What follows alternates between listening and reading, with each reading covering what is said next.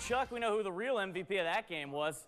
Now we'll go over to Clinton. The Arrows hosting Germantown, rocking some new black jerseys. And man, the silver pants, those are fresh.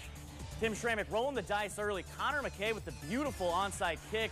And it's recovered by David Williams.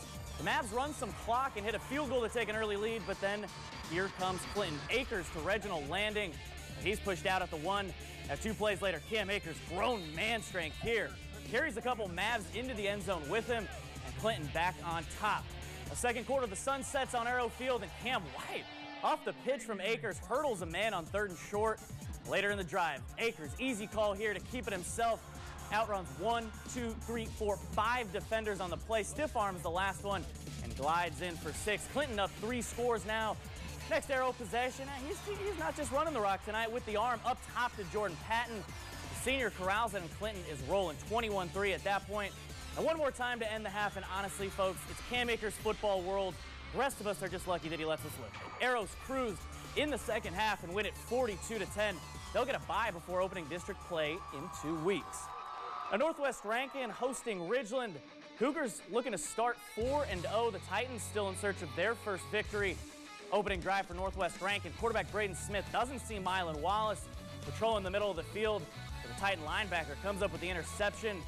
But no such mistake on the second Cougar drive. Cameron Carroll shakes a tackle in the backfield, gets around the left edge and dives to the pylon. Yes, sir, 7-0 Northwest Rankin. Still first quarter, Smith looking to make a play with his legs, takes off up the middle and across midfield he goes. But credit A.J. Stevens here with the forced fumble and Lanico Boston on the recovery. Ryan Ernest likes it. Ridgeland defense forcing turnovers. Four things slip away in the second quarter inside the five. The handoff to D. Baker for the Cougars spin move before plowing his way into the end zone.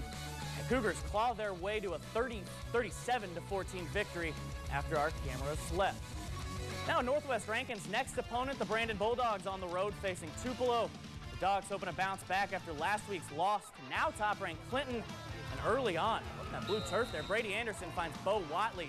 He'll pick up a few yards, but brought down by Diesel Howell and Jet Johnson. Tupelo will motor in front later. Stephen McBlawn punches it in. The Golden Wave take a 7-0 lead. A defensive struggle tonight. Ricky Myers and Milton Bronson with the stop for Brandon. But Tupelo, though, later in the game would pull off the upset. They take it 14 to 13. Your final.